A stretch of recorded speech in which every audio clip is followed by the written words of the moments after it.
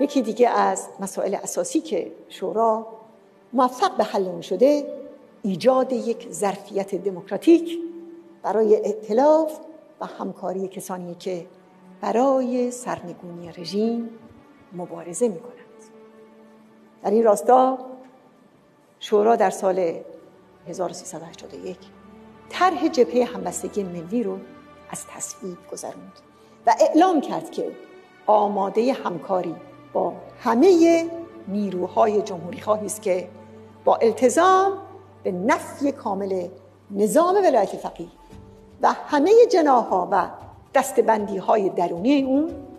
برای استقرار یک نظام سیاسی دموکراتیک و مستقل و مبتنی بر جدایی دین از دولت مبارزه می کنند شورای ملی مقاومت به دور از هر گونه تنگ نظری و پافشاری بر مواضع و برنامه و مصوبات خود پیوسته به جبهه همبستگی ملی برای سرنگونی استبداد مذهبی فراخوان داده و اعلام کرده که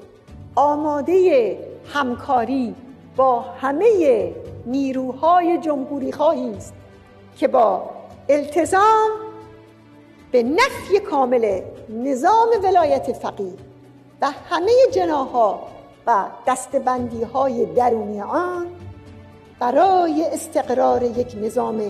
سیاسی دموکراتیک و مستقل و مبتنی بر جدایی دین از دولت مبارزه می کنند